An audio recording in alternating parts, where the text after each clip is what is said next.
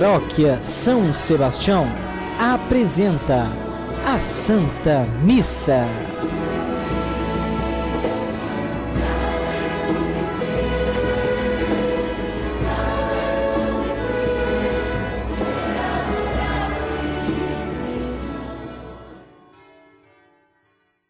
Nono domingo do tempo comum. O Filho do Homem é o Senhor do sábado.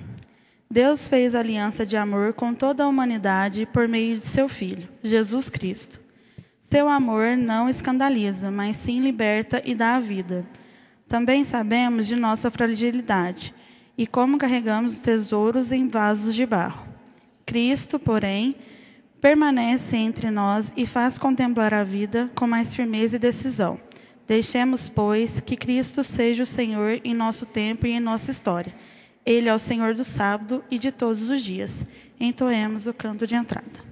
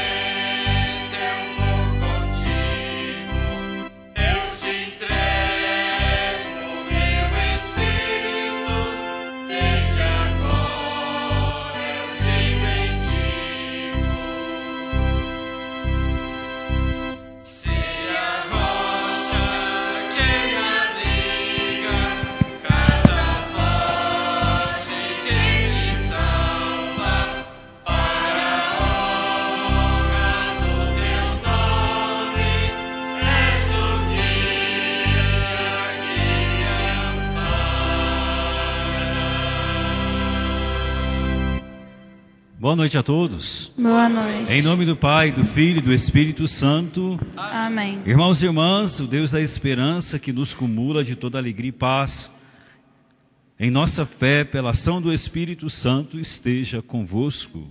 Bendito seja Deus que nos reuniu no amor de Cristo. Ó Deus de misericórdia, vosso Filho é Senhor do tempo e da história. É nele que temos a vida. Perdoai-nos, pois somos imprudentes e não vivemos intensamente sua verdade, o evangelho de sua vida, da paz e da salvação. Por isso, cantando, peçamos perdão ao Senhor.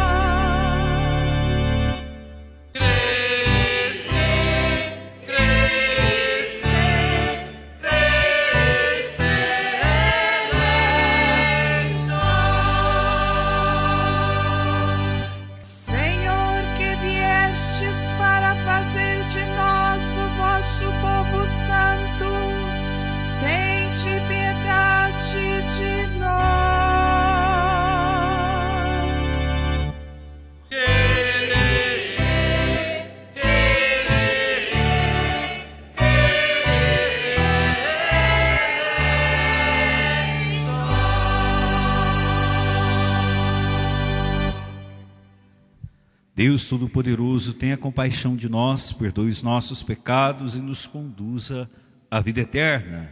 Amém. Glória a Deus nas alturas, paz na terra aos homens por Ele amados. Senhor Deus, Rei dos céus, Deus Pai Todo-Poderoso, nós os louvamos, nós os bendizemos, nós os adoramos, nós os glorificamos, nós os damos graças por vossa imensa glória. Senhor Jesus Cristo, Filho unigênito, Senhor Deus, Cordeiro de Deus, Filho de Deus Pai, vós que tirais o pecado do mundo, tende piedade de nós. Vós que tirais o pecado do mundo, acolhei a nossa súplica. Vós que estais à direita do Pai, tende piedade de nós. Só vós sois o Santo, só vós o Senhor, só vós o Altíssimo, Jesus Cristo, com o Espírito Santo, na glória de Deus Pai. Amém. Oremos. Deus, cuja providência jamais falha, nós o suplicamos humildemente, afastar de nós o que é nocivo e concedei-nos tudo o que for útil. Por nosso Senhor Jesus Cristo, vosso Filho, na unidade do Espírito Santo. Amém.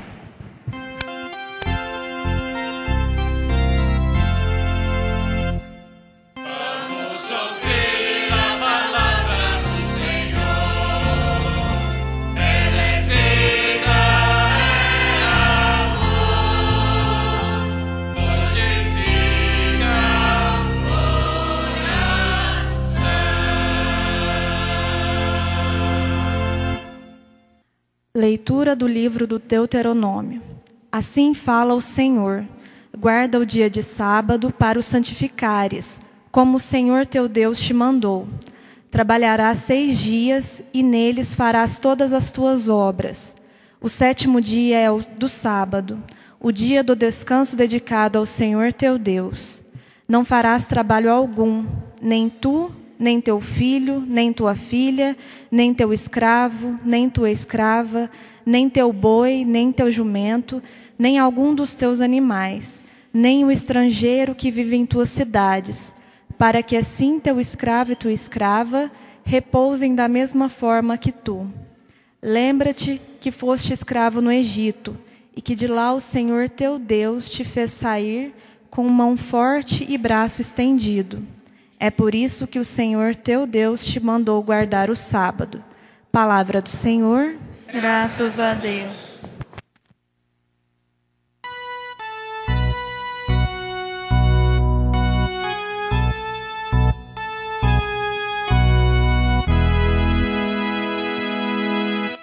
Exultai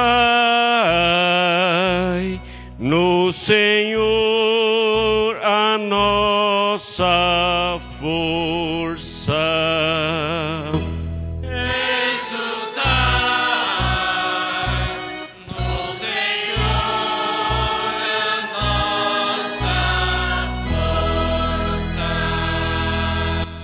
Cantai salmos, tocai tamborim, harpa e lira suaves tocai. Na lua nova soai a trombeta, na lua cheia, na festa solene.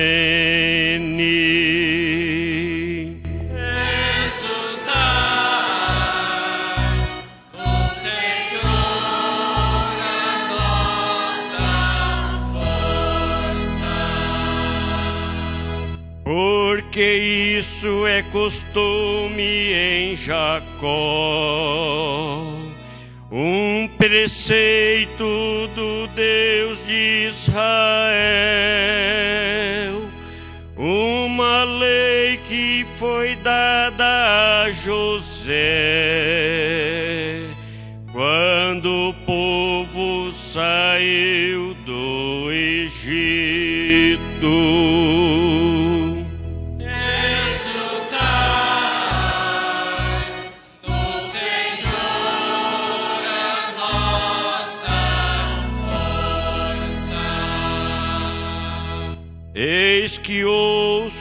uma voz que não conheço.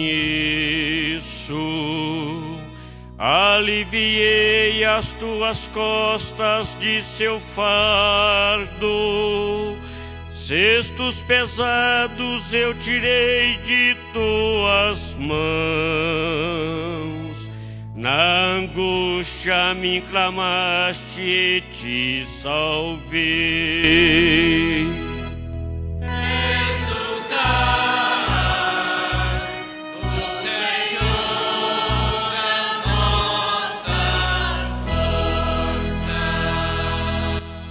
Em teu meio não existe um Deus estranho, nem adores um Deus desconhecido, porque eu sou o teu Deus e teu Senhor, que da terra do Egito te arranquei.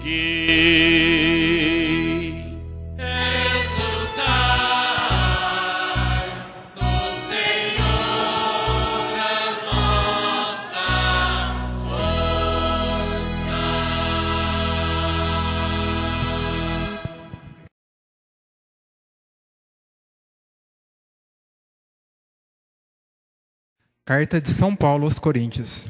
Irmãos, Deus que disse: Do meio das trevas brilha a luz.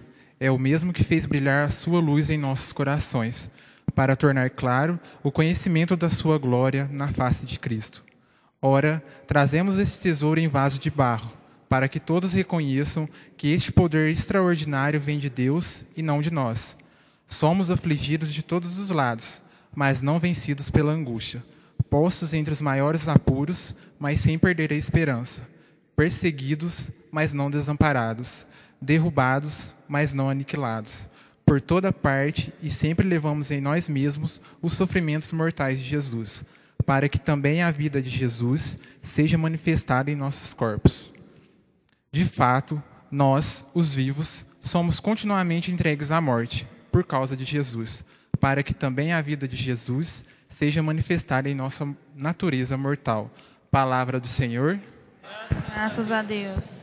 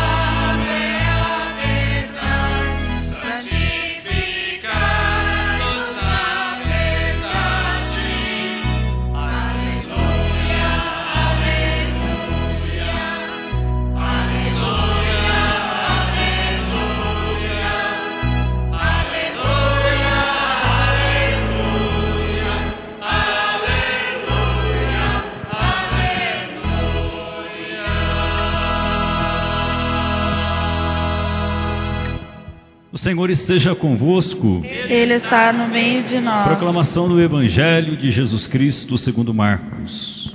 Glória a vós, Senhor. Jesus estava passando por uns campos de trigo em dia de sábado. Seus discípulos começaram a arrancar espigas enquanto caminhavam. Então os fariseus disseram a Jesus: Olha, por que eles fazem em dia de sábado o que não é permitido? Jesus lhes disse: Por acaso nunca lestes que Davi e seus companheiros fizeram quando passaram necessidade e tiveram fome? Como ele entrou na casa de Deus no tempo em que Abiatar era sumo sacerdote, comeu os pães oferecidos a Deus e os deu também aos seus companheiros?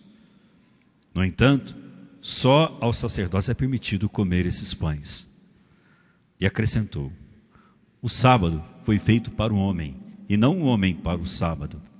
Portanto, o filho do homem é senhor também do sábado. Jesus entrou de novo na sinagoga. Havia ali um homem com a mão seca. alguns observavam para ver se haveria de curar em dia de sábado, para poderem acusá-lo. Jesus disse ao homem de mão seca: Levanta-te e fica aqui no meio. E perguntou-lhes: É permitido no sábado fazer o bem ou fazer o mal? Salvar uma vida ou deixá-la morrer? Mas eles nada disseram. Jesus então olhou ao, ao seu redor, cheio de ira e tristeza, porque eram duros de coração, e disse ao homem: Estende a mão. Ele a estendeu e a mão ficou curada. Ao saírem os fariseus com os partidários de Herodes, imediatamente tramaram contra Jesus a maneira de como haveriam de matá-lo. Palavra da salvação. Glória a vós, Senhor.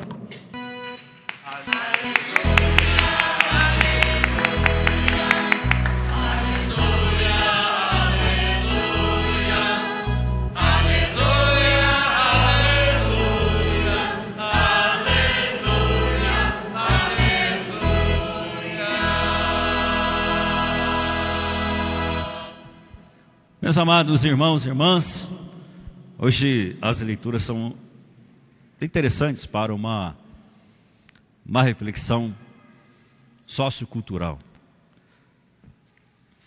Jesus, na verdade, no seu tempo, ele, ele tinha uma capacidade tremenda né, de fazer um raio-x né, e perceber a fundo né, os anseios do seu povo, as suas necessidades, o que precisavam. E ele ia, como que às beiras, é, aparecendo né, e agindo conforme o seu desejo, que também era o desejo de Deus. Né, de tornar a, a comunidade uma comunidade extremamente libertada das mãos de seus algozes, que eram os reis, os imperadores, né, que comandavam, que tinham a lei na mão. E por isso subjugava o povo. O povo já estava cansado né, de viver às margens da sociedade e carregado com um peso muito grande das leis que eram extremamente absurdas. Era assim, de chegar ao extremo realmente. E aqui está a questão do sábado, né? Jesus cura aquele homem da mão seca no sábado. Mas antes, um dado interessante. Jesus passando com seus apóstolos por uma lavura, um dos seus apóstolos com fome, pegou uma espiga e comeu. Tá, ele fez, ele cometeu algum delito? Não, porque pela lei era previsto isto, né? Se alguém tivesse com fome, passando por uma lavoura e tendo ali o alimento, ele tinha todo o direito de se alimentar. Mas a questão, ela foi, ela aconteceu no dia de sábado, porque o sábado era o dia guardado como um dia de extremo descanso. Ninguém podia fazer nada.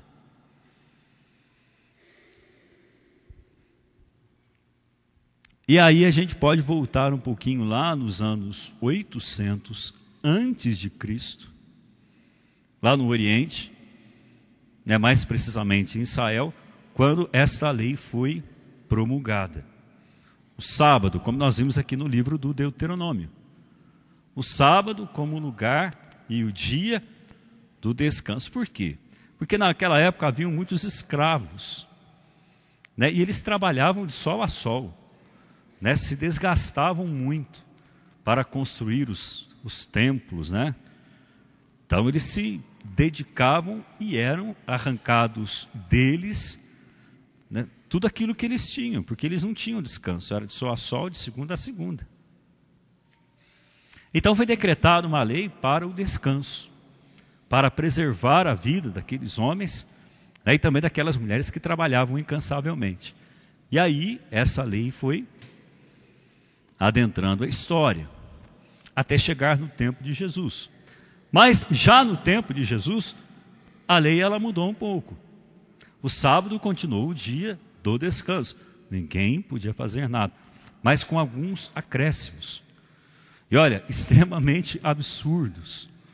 Como, por exemplo, ninguém podia abaixar para pegar um, um objeto no chão. Ninguém podia visitar um doente. Ninguém podia acender o fogo, fazer comida, e aí vai. Quer dizer, é- eram leis extremamente absurdas e existiam aqueles que esbarravam nessas leis e, e- e- acabavam cometendo um delito, como Jesus. Mas no caso de Jesus foi diferente. né? Ele chega a exatamente enfrentar o poder político do seu tempo, né? levando uma nova interpretação dessa lei, fazendo a cura daquele homem da mão seca, no dia de sábado. Mas só para abrir um parênteses aqui, é interessante porque esses costumes né, e práticas, elas vão se passando, é, ela vai adentrando a história e vai passando de geração em geração, né? É até comum a gente ouvir, né, de pessoas que antigamente, acho que isso não mais hoje, né, que por exemplo na sexta-feira santa não podia varrer a casa, não era isso? Que não podia comer, não podia, tinha que ficar em silêncio. Lógico, sexta, a sexta-feira é o dia santo de guarda. Aí tudo bem, mas certas, certos costumes eram passados de geração em geração, assim como essa questão da lei, que não tinha um cabimento. Por exemplo, se a gente for olhar né, nos, nos, no Código de Direito Canônico, até no próprio Catecismo da Igreja Católica, a gente não vai ver ali que é proibido varrer a casa no dia da Sexta-feira Santa, por exemplo. E era um costume passado de geração em geração. Então, aqui é, a gente, é interessante a gente perceber que existe né, o costume né, do tempo, a própria maneira como eles viam a sua realidade, enxergavam né, o seu tempo, e é como aquilo era passado de geração em geração. Mas, por um outro lado, a gente pode perceber aquilo que era de fato a lei e que precisava ser vigorada. Porque Jesus deixa muito claro: né, existem dois tipos que a gente pode distinguir de uma sociedade estabelecida. De um lado, estavam os reis, né, no caso os herodianos, né, que viviam, cuidavam da lei, faziam da lei o seu bel prazer para que a lei pudesse favorecê-los. É, quer dizer, isso não acontece no mundo de hoje, né? Praticamente é quase a mesma história. Né? Faz uma lei segundo uma ordem, um desejo de alguns, esquecendo as demais pessoas. Na verdade, o povo. Né? E se isso era para Jesus um incômodo, imagine ele vendo por outro lado aquela sociedade que ficava à margem, né, que não participava das discussões, que não tinha nenhuma participação das leis e que era de fato subjugada né, e condenada, carregava um peso muito grande por conta do desejo e vontade de alguns. E aí o enfrentamento de Jesus sobre a questão do sábado fica muito claro. Tanto que na narrativa do Evangelho de Marcos, que nós lemos hoje, se difere um pouco da narrativa de Lucas, é, João e, e Mateus. Quando Jesus, e até é interessante isso, chama aquele homem da mão seca para o centro, ou seja, coloca, coloca ele no meio da história, né, de uma situação, e ele olha para todos com raiva e tristeza. Até é estranho a gente ver né, Jesus tendo essa atitude de raiva e de tristeza. Mas aí a gente pode destacar a relevância da sua humanidade, inconformada com a situação que ele via acontecer no seu tempo. É, quando ele olhava aquela situação e fazia uma leitura do que ele via, do que era proposto, imposto pela sociedade, né, a sociedade no qual vivia à mercê das leis e cuidava delas, agora, o povo não tinha vez. Então, o que Jesus faz? Ele escancara um celeuma, uma, uma patologia social para todo mundo. Olha, essa aqui é a nossa sociedade. E eu não quero que ela seja assim. Eu quero que a nossa sociedade seja transformada. E ela precisa mudar o modo de agir, de pensar e de rever as coisas. A gente não pode entregar na mão de poucos a capacidade de determinar o ritmo e o rumo da nossa vida. Nós não podemos permitir que alguns pensem e outros não pensem. E é necessário que a gente faça também hoje né, esta leitura, né, a, a, a ponto de que Jesus está dizendo para nós: olha, nós podemos transformar uma sociedade inteira se nós usarmos de todas as armas que nós temos para que a nossa sociedade seja de fato construída e estabelecida na justiça e na paz. Aí vem São Paulo, né, com esse texto belíssimo, a comunidade de Corinto. Eu acho que ele fecha um pouco esse perdão, essa essa reflexão, né, sociocultural da época de Jesus. Um pouco mais para frente, São Paulo passando por uma crise. Aqui nesse texto mostra bem o momento da sua crise, uma crise existencial. Né? Ele se questionava: o que, que eu estou fazendo? Por que, que eu estou aqui? Qual que é a minha razão de existir? Por quê? Porque existiam, principalmente cristãos, é, seguidores dele, que estavam culpando São Paulo por sua atitude. Mas quem é esse homem? Que está falando em nome de Deus, mas ele é humano. Ele também tem defeitos como eu. Eles estavam de fato apontando o dedo para ele, mostrando que ele era incapaz né, de fazer com que a justiça na qual em Jesus Cristo, fundamentada e por ele alimentada por muito tempo, não chegasse até o povo. Aí ele diz: Eu sou como um vaso de barro e carrego em mim o tesouro.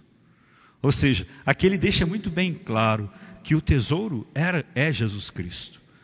E todo o seu reino de vida e proposta de vida libertadora, que ele não podia se calar, mas que ele era extremamente frágil, como um vaso de barro que se quebra facilmente. Eu sou frágil, Senhor, mas eu estou aqui. Eu não vou desistir. E aí ele dá uma nota de esperança para nós, que nesse texto aqui, para mim é fantástico. A partir do versículo 7. Ora, trazemos esse tesouro em vaso de barro, para que todos reconheçam que este poder extraordinário vem de Deus e não vem de nós. Ou seja, ele estava falando de Jesus. Né? Todo o ministério dele, o centro era o Cristo. Somos afligidos de todos os lados, mas não vencidos pela angústia, a crise. Postos entre os maiores apuros, mas sem perder a esperança. Perseguidos, mas não desamparados, derrubados, mas não aniquilados. Eu acho que isso fica muito claro para nós, né? A força da palavra, como a palavra consegue transformar gerações e a necessidade dela também agir em nós e nos transformar, né? Como ser humanos capazes de reconhecer a necessidade do outro, assim como Jesus foi extremamente humano com aquele homem. E assim como nós também podemos transformar o nosso mundo. E nunca, nunca perder a esperança como São Paulo.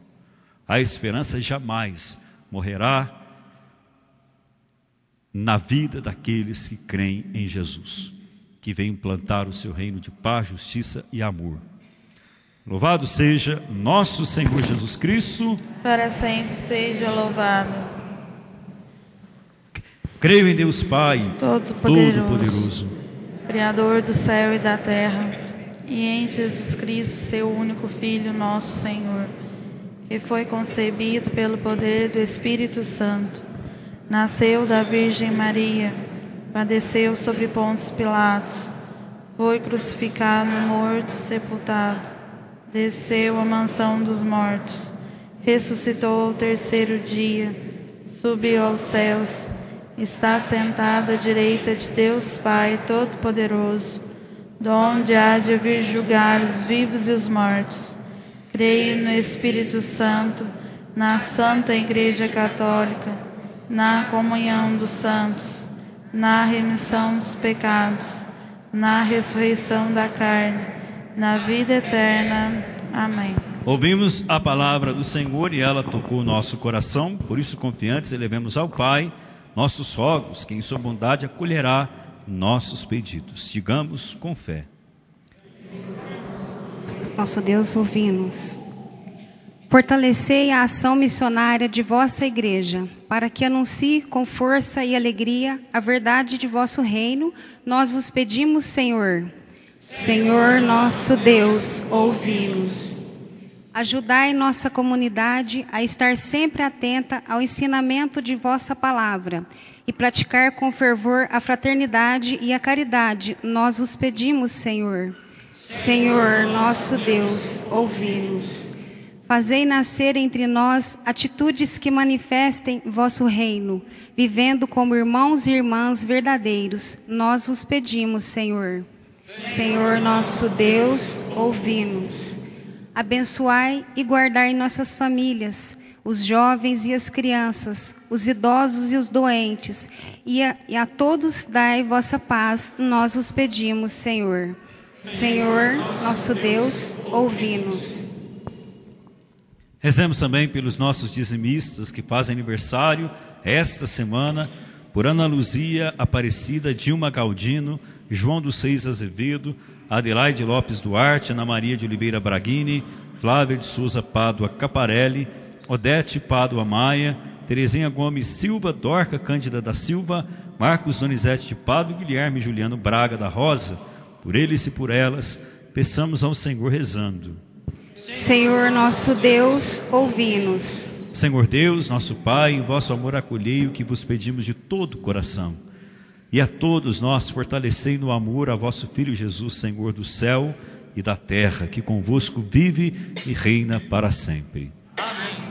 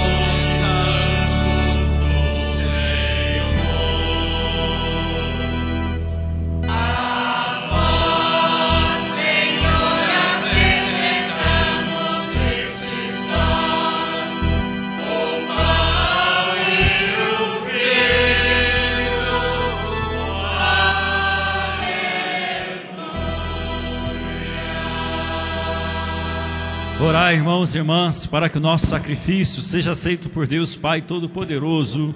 Receba, ó Senhor, por tuas mãos este sacrifício, para a glória de seu nome, para o nosso bem e de toda a Santa Igreja. Confiados, ó Deus, no vosso amor de Pai, acorremos ao altar com nossas oferendas. Dai-nos, por vossa graça, ser purificados pela Eucaristia que celebramos, por Cristo, nosso Senhor. Amém. O Senhor esteja convosco. Ele está no meio de nós. Corações ao alto. Nosso coração está em Deus. Demos graças ao Senhor nosso Deus. É nosso dever e a nossa salvação. É justo e nos faz todos ser mais santos, louvar a vós, ó Pai, no mundo inteiro, de dia e de noite, agradecendo com Cristo, vosso Filho, nosso irmão. É Ele o sacerdote verdadeiro que sempre se oferece por nós todos, mandando que se faça a mesma coisa que fez naquela ceia derradeira. Por isso, aqui estamos bem unidos, louvando e agradecendo com alegria, juntando nossa voz, a voz dos anjos e a voz dos santos todos para cantar.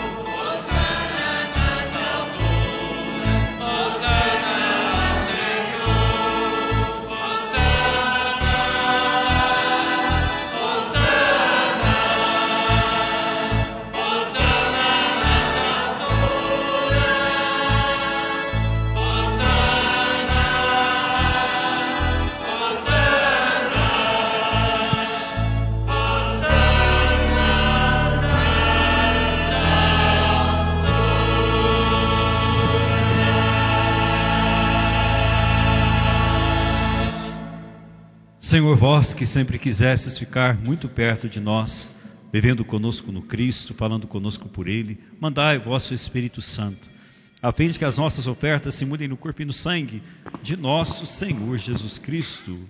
Mandai vosso Espírito Santo. Na noite que ia ser entregue, sendo com seus apóstolos, Jesus tendo o pão em suas mãos, olhou para o céu, deu graças, partiu o pão, e o entregou a seus discípulos, dizendo: Tomai todos e comei. Isto é o meu corpo que será entregue por vós.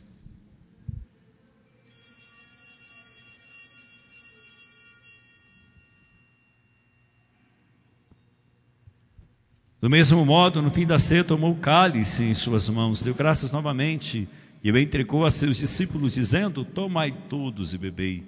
Este é o cálice do meu sangue, o sangue da nova e eterna aliança, que será derramado por vós e por todos para a remissão dos pecados. Fazer isto em memória de mim.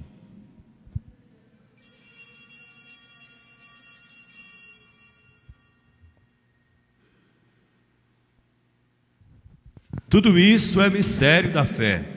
Toda vez que se come deste pão, toda vez que se bebe deste vinho, se recorda a paixão de Jesus Cristo e fica esperando a sua volta. Recordamos, ó Pai, neste momento, a paixão de Jesus, nosso Senhor, sua ressurreição e ascensão. Nós queremos a vós oferecer este pão que alimenta e que dá vida, este vinho que nos salva e dá coragem. Recebei, ó Senhor, a nossa oferta. E quando recebermos pão e vinho, o corpo e sangue dele oferecidos, o Espírito nos una num só corpo, para sermos um só povo em seu amor. O Espírito nos una num só corpo. Protegei vossa igreja que caminha nas estradas do mundo rumo ao céu, cada dia renovando a esperança de chegar junto a vós na vossa paz. Caminhamos na estrada de Jesus. Dai ao Santo Padre, Papa Francisco, ser bem firme na fé, na caridade, e a José Lança, que é bispo desta igreja, muita luz para guiar o seu rebanho. Caminhamos na estrada de Jesus. Esperamos entrar na vida eterna com a Virgem Mãe de Deus e da Igreja, os apóstolos e todos os santos que na vida souberam amar Cristo e seus irmãos. Esperamos entrar na vida eterna. A todos que chamasses para outra vida na vossa amizade, e aos marcados com o sinal da fé, abrindo vossos braços, acolhei-os, que vivam para sempre bem felizes, no reino que para todos preparastes. A todos dai a luz que não se apaga. E a nós, que agora estamos reunidos e somos povo santo e pecador, dai força para construirmos juntos o vosso reino, que também é nosso. Por Cristo, com Cristo e em Cristo, a vós, Deus Pai Todo-Poderoso, na unidade do Espírito Santo, toda honra, toda glória, agora e para sempre. Amém. Rezemos, irmãos e irmãs, Pai nosso, que estais no céu, santificado seja o vosso nome. Venha a nós o vosso reino. Seja feita a vossa vontade, assim na terra como no céu. O pão nosso de cada dia nos dai hoje. Perdoai as nossas ofensas, assim como nós perdoamos a quem nos tem ofendido, e não nos deixeis cair em tentação, mas livrai-nos do mal. Livrai-nos de todos os males, ó Pai, dai-nos hoje a vossa paz. Ajudados pela vossa misericórdia, sejamos sempre livres do pecado, protegidos de todos os perigos, enquanto, vivendo a esperança, aguardamos a vinda do Cristo Salvador. Vosso é o reino, poder e a glória para sempre. Senhor Jesus Cristo, dissestes aos vossos apóstolos: Eu vos deixo a paz, eu vos dou a minha paz. Não olheis os nossos pecados, mas a fé que anima a vossa igreja. Dai-lhe, segundo o vosso desejo, a paz e a unidade, vós que sois Deus com o Pai e o Espírito Santo. Amém. Que a paz do Senhor esteja com todos vocês. O amor de Cristo nos uniu. Cordeiro de Deus, Que tirais o pecado do mundo, tende piedade de nós. Cordeiro de Deus, que tirais o pecado do mundo, tende piedade de nós. Cordeiro de Deus, que tirais o pecado do mundo, dai-nos a paz. Bem-aventurados somos nós convidados a participar do banquete do Senhor. Eis o Cordeiro de Deus que tira o pecado do mundo. Senhor, eu não sou digna de que entreis em minha morada, mas dizei uma só palavra e serei salvo. Que o corpo e o sangue de Cristo nos guarde para a vida eterna. Amém.